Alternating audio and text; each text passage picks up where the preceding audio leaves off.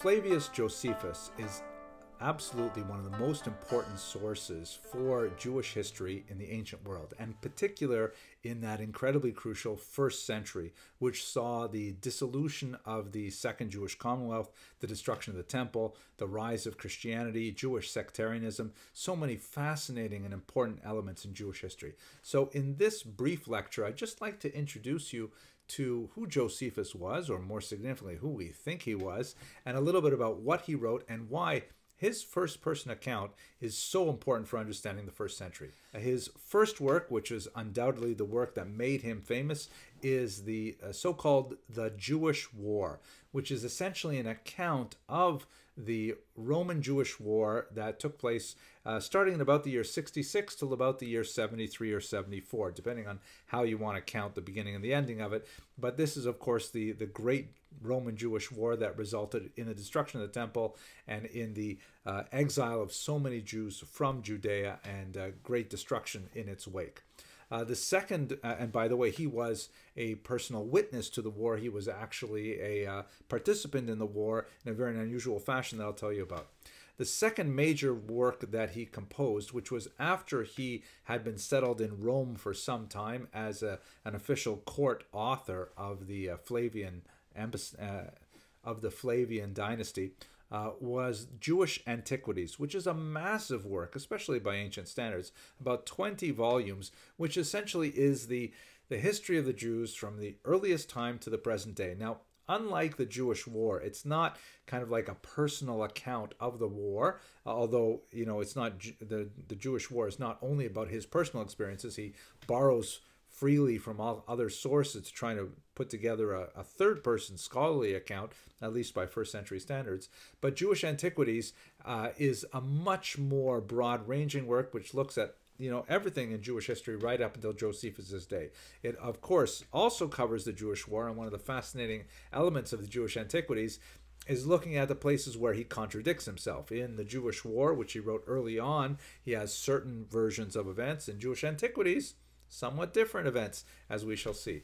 Uh, third, and most significantly for our purposes, his uh, life, his autobiography. It's a very short little work. He wrote it quite late in his life, and he reflects on the complex and somewhat tragic arc of his life. Uh, he did not have, uh, he did survive the Roman Jewish War, which is a lot to say. He also achieved fame and fortune as a writer in Rome, but he had a very unhappy personal life married several times. Um, his wives left him and all kinds of things. And uh, he had a lot of reason to really question some of the decisions he made early on in life.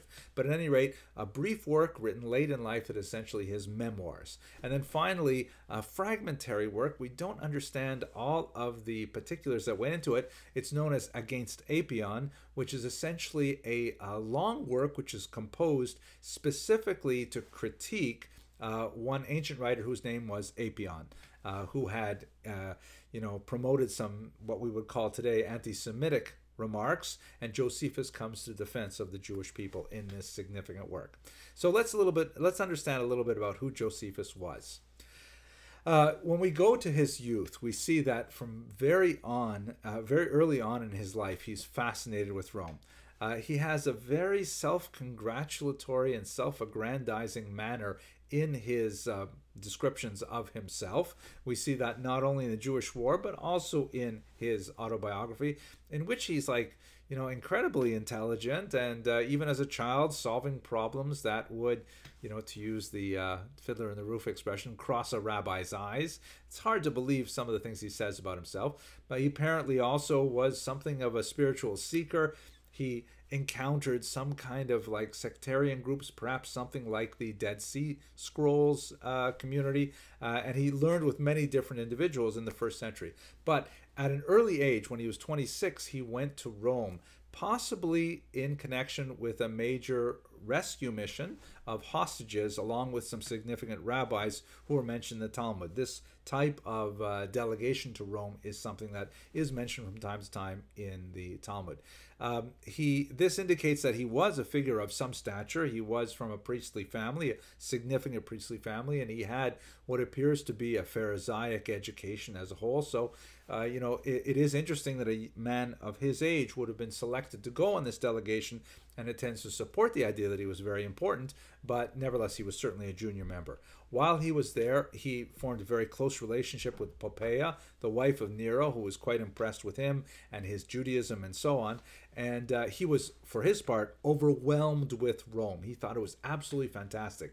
These massive structures, this pomp and circumstance everywhere, and this would, of course, influence his later attitudes towards the city. Now, when he returned to Israel uh, in the 60s, he found that Israel was openly in re- rebellion at this point. This is not the place to go into great detail, but there was a significant uh, rebellion that had actually struck first blood against the Romans, and uh, the Cestius Gallus, the general, had to retreat. And at this point, Josephus was given an important military command in the northern region in the Galilee. A lot of questions. Why was he given such an important command at such a young age and when he was relatively untested and so on? A lot of questions uh, uh, circulate regarding his military experience, but our main source on his military experience is, of course, Josephus. So we're kind of in a conundrum. We have to take him at his word for the time being. Um, his writings tend to be apologetically pro Roman. In other words, he pitches in patriotically with his fellow Jews, but at the same time, he's kind of like, you know, uh, questioning why are we fighting against the Romans? They've really produced such a wonderful culture and so peaceful and things like that. And uh, he, he sort of does his part as a Jew, but he finds frustration with his compatriots and he finds a lot of solace in Roman rule. Let us return to that question in a moment. Uh, what ends up happening is after a quite heroic and innovative defense of several places in uh, Israel, he ultimately engages in a suicide pact with the rest of uh, his soldiers, uh, and then at the end he breaks it. In other words, they all agree that they would rather commit suicide together rather than surrender to the Romans.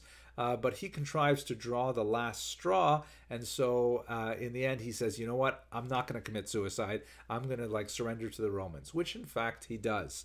And then, in a remarkable, uh, what appears to be a, an open plagiarism of a Talmudic story, he uh, he says to the emperor Vespasian, who has invaded Israel at this time, that he will in fact be emperor. I should have, I misspoke there. He spoke to the general Vespasian that he was going to be appointed emperor. Vespasian says, What are you talking about? And then, sure enough, a messenger comes, says, Vespasian, Nero, the emperor, is dead. We need you to come back to Rome. Uh, so Vespasian leaves. He puts his son Titus in charge. And of course, uh, this endears him, at least as far as Josephus tells us, to Josephus because he has predicted his rise to power. He becomes, Josephus becomes a great favorite of Titus and then eventually follows him back to Rome after uh, the rebellion has been crushed and the temple is destroyed. Uh, then Josephus returns to Rome where he becomes a great hero. Now, in Rome, he finds fame and fortune because he becomes the go to person first on the Jewish War, which really was quite a significant and extended conflict for the Romans. And there's some fascinating discussion about why this otherwise minor provincial rebellion was really expanded into such a large scope of, of Roman attention, especially with the issuing of you know some two dozen versions of the Judaea Capta coin and the building of the Arch of Titus and things like that to celebrate the victory. But so he was like the, the one of the prime sources of it. He wrote two versions of the Jewish war, one in his native Aramaic, which was the lingua franca of the Jews, and one in Greek, which was the uh, popular literary language of the Romans at this time. And we have unfortunately lost the Aramaic version that he wrote for Jews. It will be fascinating to see how he described the war to his fellow Jews, uh, as opposed to how he describes it to non Jews in the Greek version. At any rate, we lost that, so we can only suppose what he would have said. Uh, but at the price of Roman patronage, it's very clear that throughout the text there are these kind of like genuflections towards Roman authority and Roman morality, and the uh, the Jews come off as kind of like noble savages. Uh, frequently uh, bravely defending themselves, but nevertheless, you know, they could not but submit to the overwhelming might of the Romans. And so it's hard to read through Josephus's account, which is self-serving and in many ways self-preservatory. That's a good word, self-preservatory, right? Because after all, this is who's paying the bills. He's there as a somewhat captive you know, chief expert on the Jews, and so he can't write things that really offend the Romans. Um, and, but after this, you know, gains a lot of fame for him, he comes up with this magnum opus, which makes him like the number one world expert. He is the Oprah of Judaism for the Roman world. He writes this book called Jewish Antiquities because the Romans were really quite fascinated with everything Jewish. They tended to have a great level of respect for cultures which were ancient, and the Jewish culture was the most ancient. It was like Egyptian culture for the Romans. They're fascinated to learn about their history, and so Josephus obliges the Roman audience by creating this massive work, Jewish Antiquities. What else is fascinating about Jewish Antiquities is that uh, Josephus uh, you know, it, within the standards of the ancient world, uh, he was considered a scholar. By modern standards, he would be considered a plagiarist, a criminal, because he was regularly taking massive chunks out of all kinds of texts that he read. He had great access to the Flavian library in Rome, and he would just take whole chunks out of other books and put them in his own book. That was considered perfectly normal in Josephus's day, right? Uh, and, and he would call it his own. And uh, so we actually have a lot of other historians preserved in Josephus, which is especially good because Josephus survived the ancient world as one of the few historians that we can still read today. One of the reasons for that survival is because of this passage, the Testimonium Flavium, which is a key passage in the Antiquities that goes like this. Now there was about this time Jesus, a wise man, if it be lawful to call him a man, right? A very theologically loaded statement. For he was a doer of wonderful works, a teacher of such men as receive the truth with pleasure. He drew over to him both many of the Jews and many of the Gentiles. He was the Christ. Like that is like a bombshell statement. The word Christ, of course, is Greek, uh, and it is a translation of the word Mashiach. Uh, the word Mashiach means anointed, right? Like the, the special oil is placed on his head to represent the appointed leader of the Jewish people with huge uh, political and uh, supernatural and eschatological significance. And so when Josephus says that this is the guy, it's a huge statement, like the whole, everything should be over. And it goes on and describes how he was killed. And then it says, and the tribe of Christians, so named from him, are not extinct at this day. Now, this is like something that made Josephus so popular among Christians that his history was preserved more than almost any other historian at the time. Because here they had a paragraph that actually referred to Jesus from a contemporary Jewish perspective. There is no similar document uh, that exists outside of the Gospels and so on, which of course were written after Jesus had already died.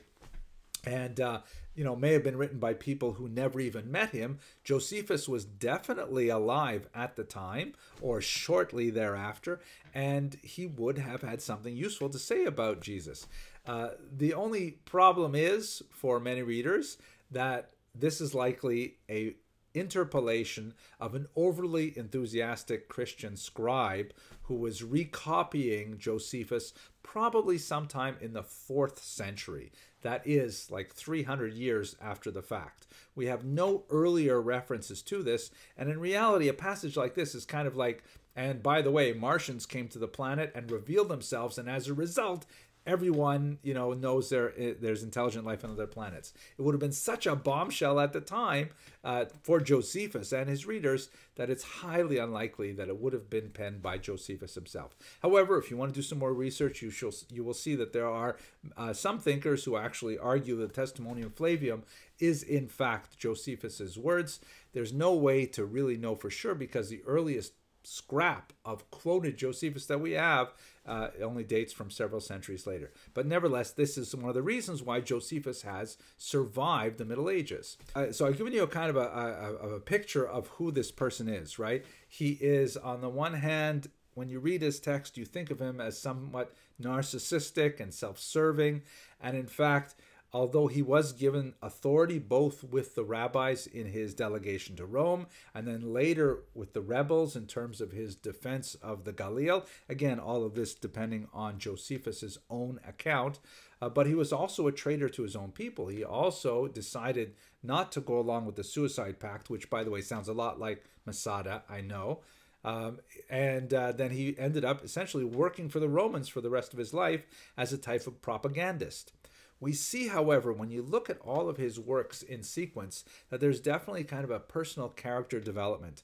And in the end, when he writes Against Apion, which is a fascinating book, uh, he essentially defends Judaism against many of the charges that Romans had against this people and this culture at the time.